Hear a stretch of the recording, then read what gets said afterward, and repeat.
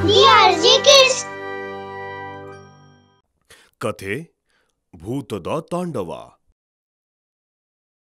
ರಾಜ ಹೀರಮಣಿ ತುಂಬಾ ದಯಾಳು ಆಗಿದ್ದ, ತನ್ನ ರಾಜ್ಯದ ಪ್ರಜೆಗಳನ್ನ ಚೆನ್ನಾಗಿ ನೋಡ್ಕೊಳ್ತಿದ್ದ ಹೊಯ್ಶಾರ್ಫರ್ನ ಬುದ್ಧಿವಂತ ಮತ್ತು ಸಹೃದಯ ರಾಜನಾಗಿದ್ದ, ತನ್ನ ರಾಜ್ಯಕ್ಕೆ ಯಾರೇ ದೂರುಗಳನ್ನು ತಂದರೂ ಸಹಾಯ ಕೇಳಿ ಬಂದರೂ ಅವರಿಗೆ ತೆರೆದ ಹೃದಯದಿಂದ ಸಹಾಯ ಮಾಡುತ್ತಿದ್ದ.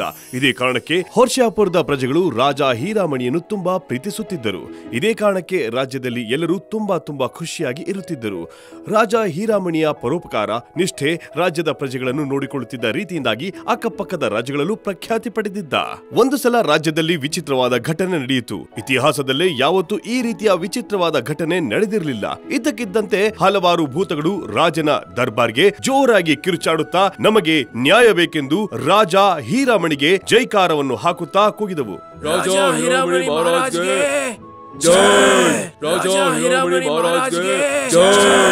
ಎಲ್ರೂ ಶಾಂತರಾಗಿ ಎಲ್ರಿಗೂ ನ್ಯಾಯ ಸಿಗತ್ತೆ. ಒಬ್ಬೊಬ್ಬರಾಗಿ ನಿಮ್ಮ ಸಮಸ್ಯೆಗಳನ್ನು ಹೇಳಿ. ಮಹಾರಾಜ್ರೆ ನನ್ನನ್ನು ಕಾಪಾಡಿ. ನನಗ್ ಸ್ವಾತಂತ್ರ್ಯ ಬೇಕು ಮಹಾರಾಜ್ರೆ. ಮಹಾರಾಜ್ರೆ ನಾವೆಲ್ಲರೂ ನಿಮ್ಮ ಪಕ್ಕ ರಾಜ್ಯದಲ್ಲಿರುವ ಭೂತಗಳು. ನಮ್ಮನ್ನು ನಿಮ್ಮ ರಾಜ್ಯದ ಒಬ್ಬ ತಾಂತ್ರಿಕ ಅವನು ಗಾಜಿನ ಬಾಟಲಿಯಲ್ಲಿ ಕೂಡಿ ಇಡುತ್ತಾನೆ. ನಮಗ್ ತೊಂದರೆ ಕೊಡುತ್ತಾನೆ. ಆ ಮಹಾರಾಜ್ ನಮಗ ತಾಂತ್ರಿಕರಿಂದ ಮುಕ್ತಿ ಬೇಕು. ಬೇಕು ಮಹಾರಾಜ್. ಮಹಾರಾಜ್. ಆ ಮಾಂತ್ರಿಕ ಅವನ್ ಮಂತ್ರಶಕ್ತಿಯಿಂದ ನಮ್ ಹಿಡಿತದಲ್ಲಿ ಇಟ್ಕೊಂಡು ನಮ್ ಕೈಲಿ ನಮ್ ಕೈಲಿ ಕೆಟ್ಟ ಕೆಲಸ ಮಾಡಿಸ್ತಾನೆ. ಆ ತಾಂತ್ರಿಕನ ಹೆಸರೇನು? ಮತ್ತು ಅವನು ನಿಮ್ ಕೈಲಿ ಯಾವ ರೀತಿ ಕೆಲಸಗಳನ್ನು ಮಾಡಿಸ್ತಿದ್ದಾನೆ? ಮಹಾರಾಜ್, ಅವನ ಹೆಸರು ಭೈರವನಾಥ. ನನ್ನ ಕೈಯಿಂದ ಇಬ್ರು ಇಬ್ರು ಅಣ್ಣ ತಮ್ಮಂದಿರ ನಡುವೆ ಜಗಳ ಆಗುವಂತೆ ಮಾಡಿದ. ಈ ರೀತಿ ಕೆಟ್ಟ ಕೆಲಸ ಮಾಡಿಸ್ತಿದ್ದಾನೆ. ತಾಂತ್ರಿಕ ಹೇಳಿದಂತೆ ಜಯಕುಮಾರ್ ಮತ್ತು ರುಚಿ ಮದುವೆ ಆಗದಂತೆ ಮಾಡಿದೆ. ಮಹಾರಾಜ್, ಅವನು ಈ ರೀತಿಯ ತಪ್ಪಾದ ಹಾಗೂ ಕೆಟ್ಟ ಕೆಲಸವನ್ನು ಮಾಡಿಸ್ತಾನೆ. ಒಂದು ವೇಳೆ ನಾವು ಅವರು ಹೇಳಿದ ಕೆಲಸ ಮಾಡದಿದ್ರೆ ಆ ತಾಂತ್ರಿಕ ಶಕ್ತಿಯಿಂದ ಕುದಿಯುವ ಎಣ್ಣೆಯನ್ನು ನಮ್ಮ ಮೇಲೆ ಸುರಿದು ನಮಗೆ ಯಾತನೆ ಕೊಡುತ್ತಾನೆ. ಆ ಮಹಾರಾಜ್ ಆ ಭೈರವನಾಥ ಆಗಾಗ ಚಿಕ್ಕ ಮಕ್ಕಳನ್ನು ಹೆದರಿಸಲು ಹೇಳ್ತಾನೆ. ಇದೆಲ್ಲ ನಮಗೆ ಸ್ವಲ್ಪವೂ ಇಷ್ಟ ಆಗುವುದಿಲ್ಲ ಸರಿ ಅನಿಸುವುದಿಲ್ಲ. ಇದಾ ವಿಷಯ. ಆ ದುಷ್ಟತಾಂತ್ರಿಕ ಎಲ್ಲಿರುತ್ತಾನೆ? ರಾಮನಗರದ ಹನುಮಂತ ದೇವಸ್ಥಾನದ ಹಿಂಭಾಗ ಒಂದು ಹಳೆಯ ಅವಶೇಷವಾದ ಬಂಗ್ಲಾ ಇದೆ. ಅಲ್ಲೇ ಇರ್ತಾನೆ ಅವನು. ಅವನ ಭೂತಗಳು ಕೂಡಿ ಹಾಕಿದ್ದ ಗಾಜಿನ ಬಾಟಲಿ ನಿನ್ನೆ ರಾತ್ರಿ ತನ್ನಂತಾನೆ ತೆರೆಯಿತು. ಅಲ್ಲಿಂದ ತಪ್ಪಿಸಿಕೊಂಡು ನಾವು ನಿಮ್ಮ ಬಳಿ ನ್ಯಾಯ ಕೇಳಲು ಬಂದಿದ್ದೇವೆ. ಹ್ಮ್. ನನಗೆ ನಿಮ್ಮ ಸಮಸ್ಯೆಗಳು, ಕಷ್ಟಗಳು ಅರ್ಥವಾಯಿತು. ನಾನು ನಿಮಗೆ ಖಂಡಿತ ನ್ಯಾಯ ಕೊಡಿಸುತ್ತೇನೆ ಮತ್ತು ಆ ದುಷ್ಟ ತಾಂತ್ರಿಕನಿಗೆ ಕಠೋರವಾದ ಶಿಕ್ಷೆ ಕೊಡುತ್ತೇನೆ. ಮಹಾರಾಜ್, ಈಗಿಂದ ಈಗಲೇ ತಾಂತ್ರಿಕ ಭೈರವನಾಥನನ್ನು ನಿಮ್ಮ ಆಸ್ಥಾನಕ್ಕೆ ಕರೆಸಿ ಶಿಕ್ಷಿಸಿ. ಇಲ್ಲವಾದರೆ ಅವನು ಅವನ ಮಂತ್ರಶಕ್ತಿಯಿಂದ ನಮ್ಮನ್ನೆಲ್ಲರನ್ನು ಅವನ ಬಳಿ ಕರೆಸಿಕೊಂಡು ಗಾಜಿನ ಬಾಟಲಿಯಲ್ಲಿ ಕೂಡಿ ಹಾಕುತ್ತಾನೆ. ನಮಗೆ ಚಿತ್ರಹಿಂಸೆ ಕೊಡುತ್ತಾನೆ. ಹೌದು ಮಹಾರಾಜ್ ಅವನು ನಮ್ಮಿಂದ ಮತ್ತೆ ತಪ್ಪಾದ ಕೆಟ್ಟು ಕೆಲಸವನ್ನು ಮಾಡಿಸುತ್ತಾನೆ. ಆ ಪಾಪಿಯಿಂದ ನಮಗೆ ಬಿಡುಗಡೆ ಕಳಿಸಿ ಸೇನಾಧಿಪತಿ ಆದಷ್ಟು ಬೇಗ ಸಿಪಾಯಿಗಳನ್ನು ಕರೆದುಕೊಂಡು ಹೋಗಿ ಈಗಿದೀಗಲೇ ಆ ದುಷ್ಟ ತಾಂತ್ರಿಕನನ್ನು ಅವನ ಗಾಜಿನ ಬಾಟಲಿಯ ಸಮೇತ ಆಸ್ಥಾನಕ್ಕೆ ಕರೆದುಕೊಂಡು ಬನ್ನಿ. ನೀವು ಹೇಗೆ ಹೇಳ್ತೀರಾ ಹಾಗೆ ಮಹಾರಾಜ್? ಒಂದು ಬಂಗಲಿಯಲ್ಲಿ ಭೈರವನ ತಾಂತ್ರಿಕನು ತುಂಬಾ ಆಳವಾದ ನಿದ್ರೆಯಲ್ಲಿ ಇರುತ್ತಾನೆ. ನೋಡಲು ಭಯಂಕರವಾಗಿ ಹಾಗೂ ಅಪಾಯಕಾರಿಯಾಗಿ ಇರುತ್ತಾನೆ. ಇದ್ದಕ್ಕಿದ್ದಂತೆ ನಿದ್ರೆಯಿಂದ ಅವನಿಗೆ ಎಚ್ಚರವಾಗುತ್ತದೆ. ಎದ್ದು ಗಾಜಿನ ಬಾಟಲಿಯ ಕಡೆ ನೋಡುತ್ತಾನೆ. ನೋಡಿದರೆ ಗಾಜಿನ ಬಾಟಲಿ ತೆರೆದು ಭೂತಗಳೇ ಇಲ್ಲ. ಅದನ್ನು ಕಂಡು ಒಂದು ಕ್ಷಣ ಅವನಿಗೆ ಪ್ರಜ್ಞೆ ಇಲ್ಲದಂತೆ ಆಗುತ್ತದೆ. ಆಗ ಹೇಳುತ್ತಾನೆ, ನಾನು ನಾಶವಾಗಿ ಬಿಟ್ಟೆ. ಯಾರು ಈ ಬಾಟಲಿಯನ್ನು ತೆಗೆದಿದ್ದು? ನನ್ನ ಭೂತಗಳೆಲ್ಲ ಮಾಯವಾಗಿವೆ. ಇದು ಹೇಗೆ ಸಾಧ್ಯ? ನನ್ನ ಹಲವು ವರ್ಷಗಳ ಪ್ರಯತ್ನ ಒಂದೇ ಬಾರಿಗೆ ಮಣ್ಣು ಪಾಲಾಯಿತು. ನಾನು ಯಾರನ್ನೂ ಬಿಡುವುದಿಲ್ಲ. ಮೇಲೆ ನೋಡ್ತಾ ಕಣ್ಣನ್ನ ಮುಚ್ಚಿ ಒಂದಷ್ಟು ಮಂತ್ರಗಳನ್ನ ಹೇಳ್ತಾರೆ. ಓಂ, ಹೇಂ, ಭೀಂ, ಚಾಮುಂಡಾಯೇ ವಿಚಿತ್ ಪಟ್.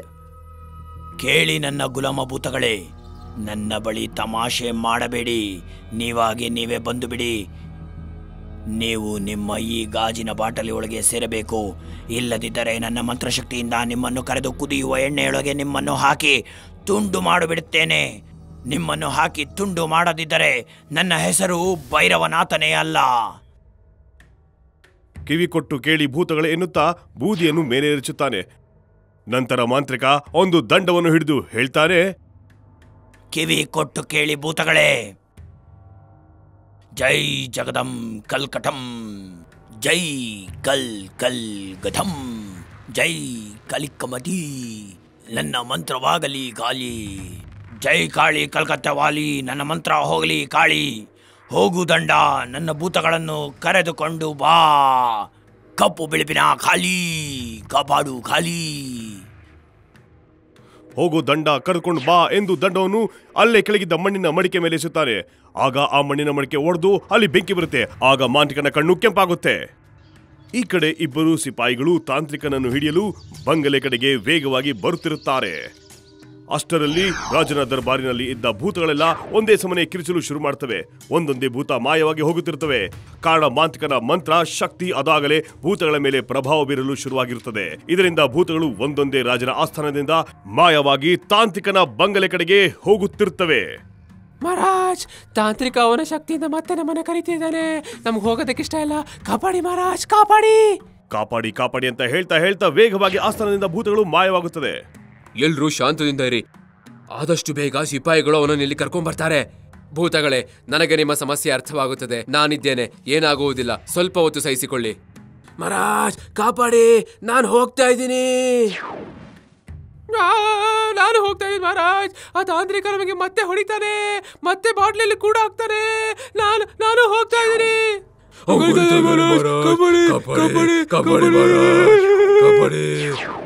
ಈಗ ಆಸ್ಥಾನದಲ್ಲಿ ಮಂತ್ರಿ, ಮಹಾರಾಜ, ಸೇನಾಧಿಪತಿಗಳು ಮಾತ್ರ ಉಳಿದುಕೊಳ್ಳುತ್ತಾರೆ. ಮಹಾರಾಜರು ಯೋಚನೆಯಿಂದ ಓಡಾಡ್ತಿರ್ತಾರೆ ಸೇನಾಧಿಪತಿ, ಆ ದುಷ್ಟ ತಾಂತ್ರಿಕ ಭೂತಗಳನ್ನು ಕೂಡಿ ಹಾಕಿ ಹಿಂಸೆ ಕೊಡುತ್ತಿದ್ದಾನೆ. ಅವುಗಳಿಗೆ ತೊಂದರೆ ಕೊಡುತ್ತಿರುವುದನ್ನು ನನ್ನ ಕೈಯಲ್ಲಿ ನೋಡಲಾಗುತ್ತಿಲ್ಲ. ನನಗೆ ನಿಮ್ಮ ಕಾಳಜಿ ಅರ್ಥವಾಗುತ್ತೆ, ಮಹಾರಾಜ್. ಸೇನಾಧಿಪತಿ, ಅವುಗಳನ್ನು ಆದಷ್ಟು ಬೇಗ ತಾಂತ್ರಿಕನಿಂದ ಮುಕ್ತಿಗೊಳಿಸಿ ಅವುಗಳ ರಾಜ್ಯಕ್ಕೆ ಸುರಕ್ಷಿತವಾಗಿ ಕಳಿಸಿಕೊಡಬೇಕು. ಇಲ್ಲಿ ಎಲ್ಲಾ ಭೂತಗಳು ಒಂದೊಂದೇ ಬಂದು ತಾಂತ್ರಿಕನ ಗಾಜಿನ ಬಾಟಲಿ ಒಳಗೆ ಸೇರುತ್ತವೆ. ಆಗ ತಾಂತ್ರಿಕ ಜೋರಾಗಿ ನಗ್ನಗುತ್ತಾ. ನನ್ನಿಂದ ತಪ್ಪಿಸ್ಕೊಂಡು ಯಾವ ಭೂತಾನು ಎಲ್ಲೂ ತಪ್ಪಿಸ್ಕೊಳ್ಳೋದಕ್ಕೆ ಸಾಧ್ಯ ಇಲ್ಲ. ಇವತ್ತು ರಾತ್ರಿ ನೀವು ಓಡಿ ಹೋಗೋದಕ್ಕೆ ನಾನು ಶಿಕ್ಷೆ ಕೊಡ್ತೀನಿ. ಇದರಿಂದ ನೀವು ತಪ್ಪಿಸ್ಕೊಳ್ಳೋದಕ್ಕೆ ಸಾಧ್ಯನೇ ಇಲ್ಲ. ಅಷ್ಟರಲ್ಲಿ ಸಿಪಾಯಿಗಳು ತಾಂತ್ರಿಕನ ಬಂಗಲೆಗೆ ಬರುತ್ತಾರೆ. ಇವತ್ತಿಗೆ ನಿನ್ನ ಆಟ ಮುಗಿಯಿತು. ನಾವು ನಿನ್ನನ್ನು ಬಂಧಿಸಲು ಬಂದಿದ್ದೇವೆ. ಆದರೆ ನಾನು ಏನು ಮಾಡಿದೆ? ಅದನ್ನ ಮಹಾರಾಜರು ಹೇಳ್ತಾರೆ. ನೀನೇನ್ ಮಾಡಿದ್ಯಾ ಅಂತ? ನೀವು ನನ್ನನ್ನು ಬಂಧಿಸದಿದ್ದರೆ ನಿಮಗೆ ನಾನು ಐವತ್ತು ಐವತ್ತು ಚಿನ್ನದ ನಾಣ್ಯಗಳನ್ನು ನೀಡುತ್ತೇನೆ ನಾವು ಮಹಾರಾಜರ ನಿಷ್ಠಾವಂತ ಸಿಪಾಹಿಗಳು. ನಾವು ಲಂಚ ತೆಗೆದುಕೊಳ್ಳುವುದಿಲ್ಲ. ಹೀಗೆ ಹೇಳಿ ತಾಂತ್ರಿಕನ ಕೈಗೆ ಬೇಡಿ ಹಾಕಿ ಅವನನ್ನು ಬಂಧಿಸಿ ತಮ್ಮ ಕುದುರೆಯ ಮೇಲೆ ಕೂರಿಸಿಕೊಂಡು ಗಾಜಿನ ಬಾಟಲಿಯನ್ನು ತೆಗೆದುಕೊಂಡು ಮಹಾರಾಜನ ಮುಂದೆ ತಂದು ನಿಲ್ಲಿಸುತ್ತಾರೆ.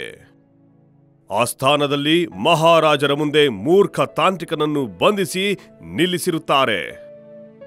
ಮಹಾರಾಜ ಇವನೇ ದುಷ್ಟ ಮಾಂತ್ರಿಕ ಭೈರವನಾಥ. ಮಹಾರಾಜ ಇವನು ನಮಗೆ ಲಂಚ ಕೊಡಕ್ ಬಂದಿದ್ದ. ಸಿಪಾಯಿಗಳೇ ಒಳ್ಳೆ ಕೆಲಸ ಮಾಡಿದ್ದೀರಿ. ನಿಮ್ಮ ಈ ಕೆಲಸಕ್ಕೆ ನೀವು ತಕ್ಕ ಬಹುಮಾನ ಪಡೆಯುತ್ತೀರಿ. ಮೊದಲು ಆ ಗಾಜಿನ ಬಾಟಲಿಯ ಮುಚ್ಚಳವನ್ನು ತೆಗೆದು ಭೂತಗಳಿಗೆ ಸ್ವಾತಂತ್ರ್ಯವನ್ನು ಕೊಡಿ. ಸಿಪಾಯಿ ಬಾಟಲಿಯ ಮುಚ್ಚಳವನ್ನು ತೆಗೆಯುತ್ತಿದ್ದಂತೆ ಒಂದೊಂದೇ ಭೂತಗಳು ಹೊರಗೆ ಬಂದು ಮಹಾರಾಜನಿಗೆ ಜೈಕಾರವನ್ನು ಕೂಗುತ್ತಾ ಎಲ್ಲರೂ ಹೇಳುತ್ತಾರೆ.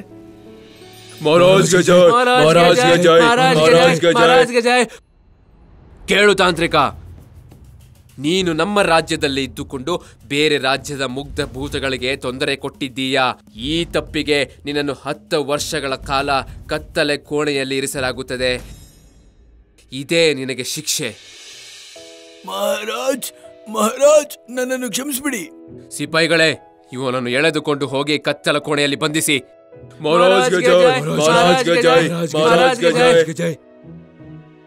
ಇವತ್ತಿನಿಂದ ಎಲ್ಲ ಭೂತಗಳು ಸ್ವತಂತ್ರರು.